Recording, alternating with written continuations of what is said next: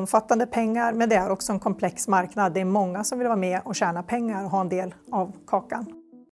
السلام عليكم ورحمة الله وبركاته الجانب الأكبر من حرب العصابات اللي عم تعاني منها السويد حاليا سبب المنافسة على سوق المواد المخدرة بالسويد واللي بحسب التقرير رح أعرضه عليكم بعد شوي واللي عرضه التلفزيون السويدي بيعادل أسواق مواد أخرى موجودة بالسوق هذا التقرير ذكرني بتصريح شهير لرئيس وزراء السويد الأسبق ستيفان لوفين واللي طالب فيه الأغنياء اللي عم يتعاطوا المخدرات بالتوقف عن ذلك لأنه هذا الشيء عم يغذي هاي العصابات الإجرامية بالسويد.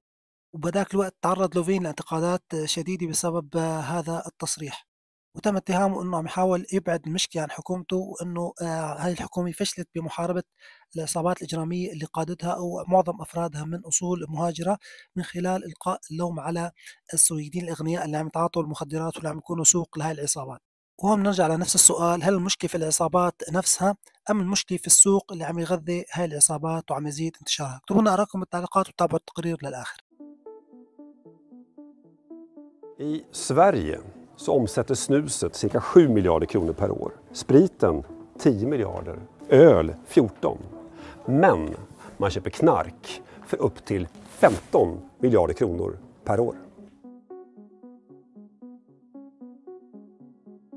Enligt polisen var bruttovinstmarginalen i en rapport närmare 20 procent. Det är betydligt högre än för många andra konsumentproduktbranscher.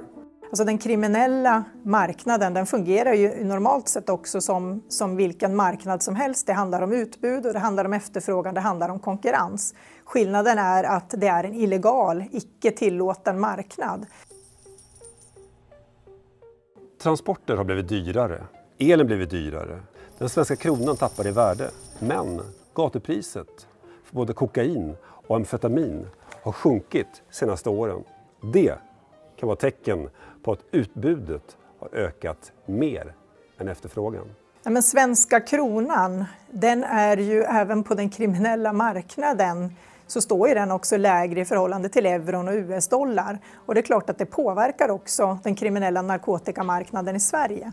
Sen är det många som vill vara med och eh, ta del av, av kakan, vinsterna för att tjäna pengar på narkotikabrott. Och det är klart att då ökar också konkurrensen.